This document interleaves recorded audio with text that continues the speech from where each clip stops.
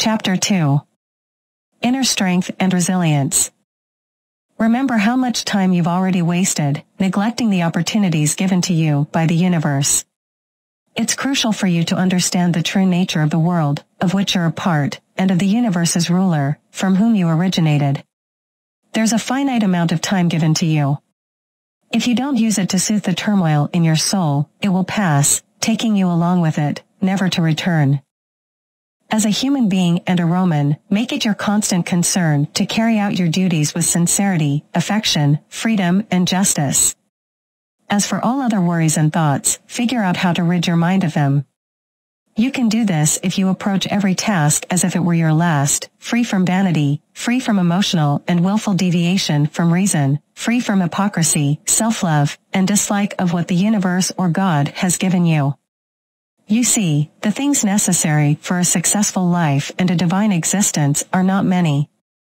The universe will not demand more from anyone who observes these principles. Go ahead, soul, disrespect, and scorn yourself. Soon the time for self-respect will be over. Everyone's happiness comes from within, but look, your life is nearing its end. While showing no respect for yourself, you placed your happiness in the opinions and whims of others. Why do external events distract you so much? Take the time to learn something worthwhile and stop aimlessly wandering about.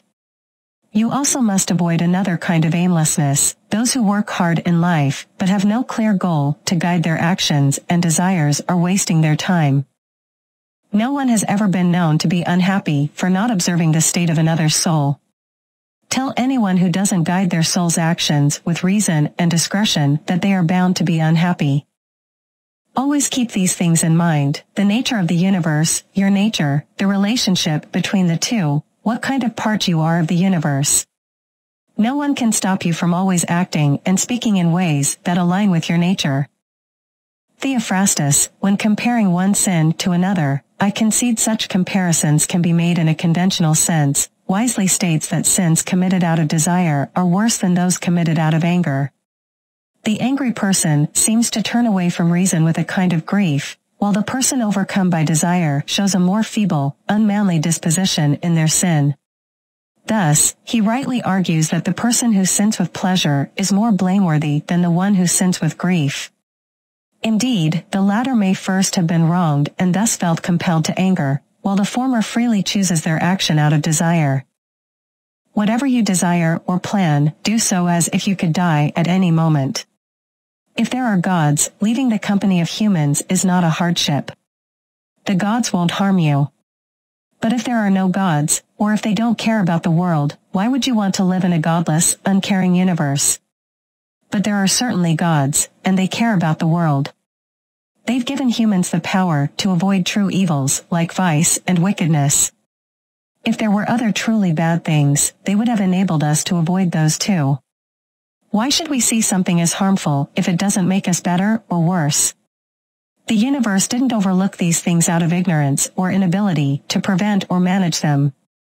It couldn't have allowed both good and bad things to happen to both good and bad people due to a lack of power or skill.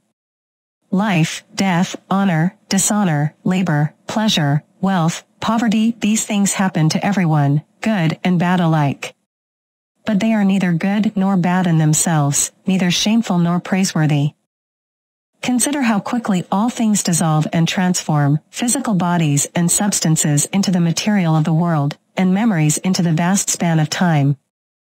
Consider the nature of all worldly tangible things, especially those that either entrap with pleasure, or are feared for their unpleasantness, or are highly valued for their outward appearance and demand, how worthless and contemptible, how base, and corruptible, how devoid of all true life and existence they are.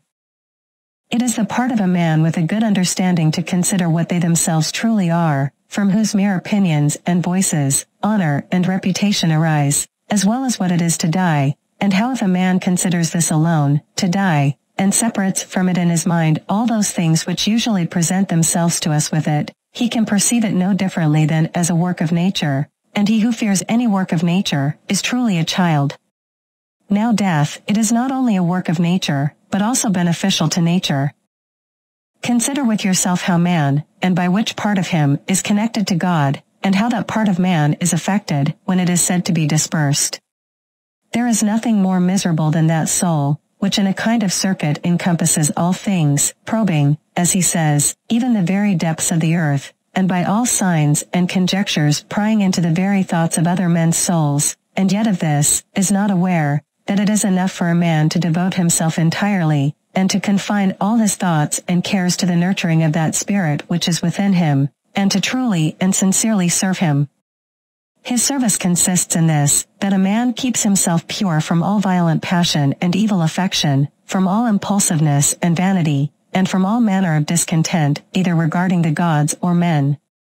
For indeed whatever comes from the gods, deserves respect for their worth and excellence, and whatever comes from men, as they are our relatives, should by us be treated, with love, always, sometimes, as coming from their ignorance, of what is truly good and bad, a blindness no less, than that by which we are unable to distinguish between white and black with a kind of pity and compassion also.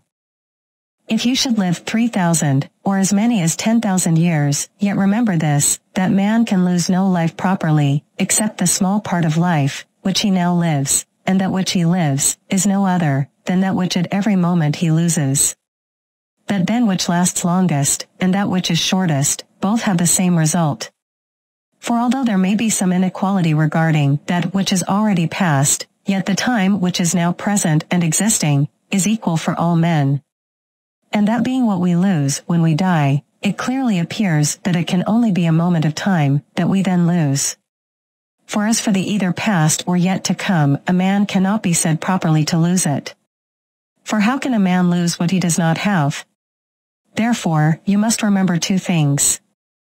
First, that all things in the world from all eternity, by a perpetual cycle of the same times and things ever continued and renewed, are of one kind and nature, so that whether for a hundred or two hundred years only, or for an infinite amount of time, a man sees those things which are still the same, it cannot be of great importance.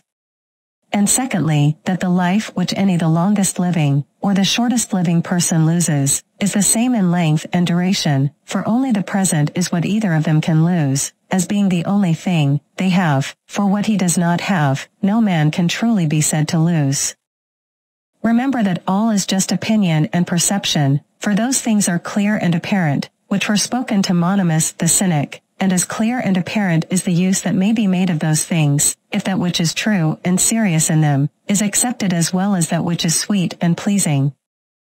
A man's soul does wrong and disrespects itself first and especially, when as much as in itself lies it becomes a tumor, and as it were an outgrowth of the world, for to be upset and displeased with anything that happens in the world, is a direct departure from the nature of the universe, part of which, all individual natures of the world, are.